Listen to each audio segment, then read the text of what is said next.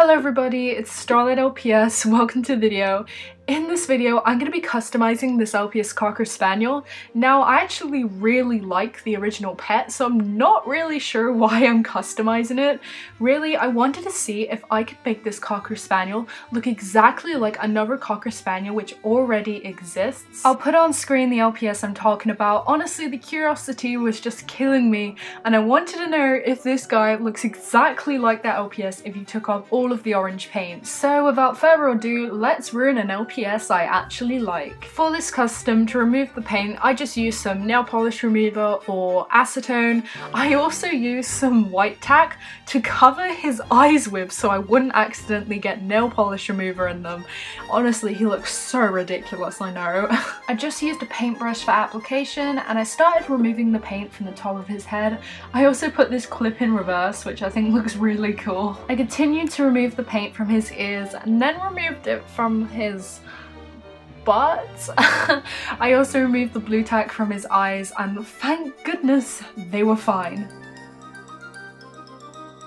I then used a smaller paintbrush to get rid of the orange paint from his ears. I also used a skewer to just get out all the other bits of orange trapped in all the crevices in his ears. After that, he was looking pretty good honestly, but I could still see some remains of the previous pet, so the next day I decided to customize him further.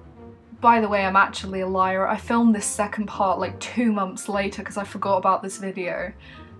As you can see, I did take some creative liberties because I painted her nose pink.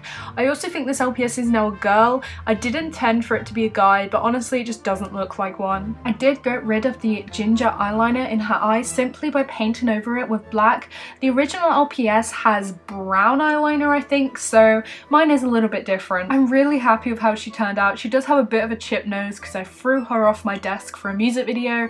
If you haven't already seen that, you definitely should. It's pretty good. I worked very hard on it and it has quite a lot of views so thank you so much if you have watched it. I'm pretty happy with how this custom turned out though I do miss the original LPS so I might have to buy it again.